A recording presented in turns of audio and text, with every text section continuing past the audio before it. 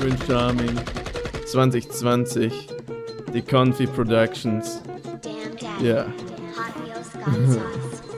Ja.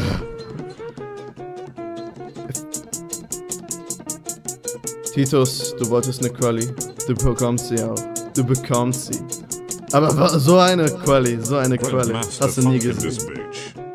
Ja, vor Runde 1 und ich muss gegen Titus. Nach dieser Runde ist dein Punktestand sehr schnell im Minus.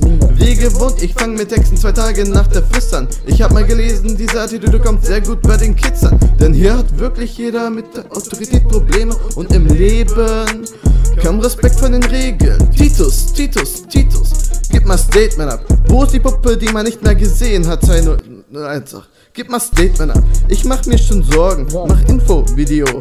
Ist sie schon gestorben? Und echt, Mann, wo bleibt Rack One? Er war von euch beiden doch der Rapper. Er hat gerappt ins Mic.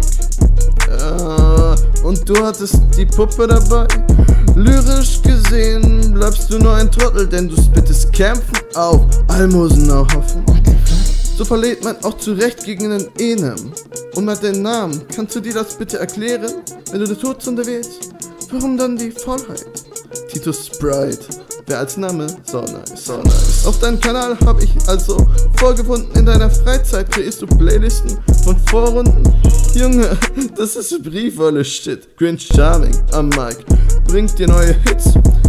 47 Chromosome passen zu meiner AK. Ratatatata, Versager, Versager. Du bist ein Country-Fan seit Tag 510. Warum ich hochgeladen wurde, wirst du nie verstehen.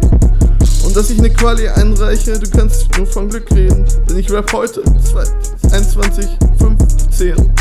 Ja. Freestyle. Ja, Star. Cringe, äh, Cringe Charming. Cringe Charming.